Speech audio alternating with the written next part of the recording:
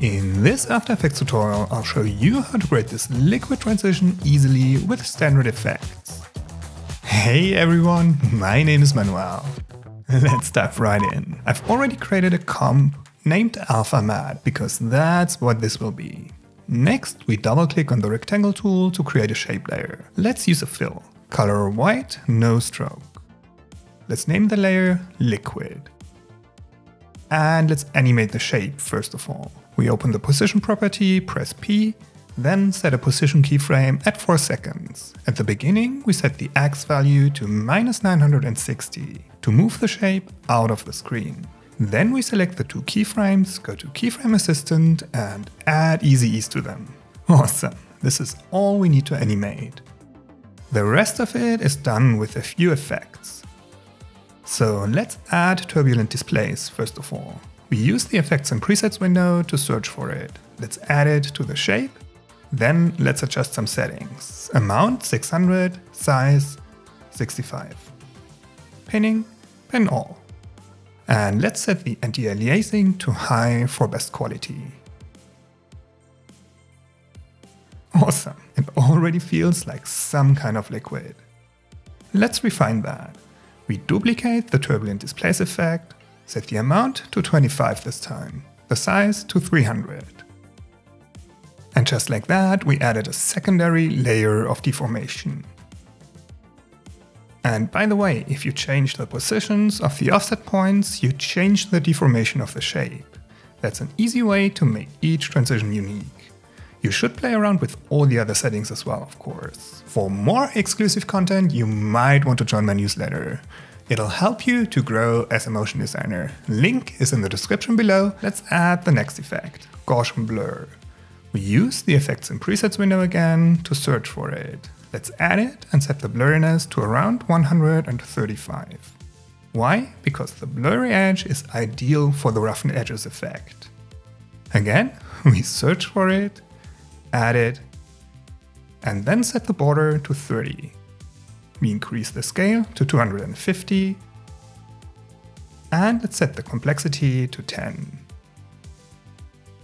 Awesome. The edge has some structure now, but nothing else really. Let's add a texture, which we use to reduce the opacity of the shape layer, in parts. We add a new solid, Command or Control Y, and name it Texture. Color white? Actually, it doesn't matter. We add the turbulent noise effect to it. The effects and presets window is so much faster if you know the effects you're looking for, instead of trying to find them in the effect menu. So let's increase the contrast to around 400. We set the brightness to 25.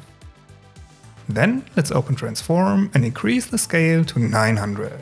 Complexity 1. Then we use it as Luma track matte for the liquid layer. Make sure it is set to Luma and we invert it. The darker, the more transparent. Awesome. Next we duplicate the liquid layer and simply deactivate the roughen edges layer. Then we press U to see its keyframes in the timeline. Select both of them and move them 4 frames to the right. So we add some more opacity to the liquid again, but slightly offset. Let's duplicate the liquid 2 layer and disconnect the mask. We activate the roughened edges effect again and set border to 5. Then we open the opacity property of the layer and set it to 80%. Next we press U again to see the keyframes of the layer.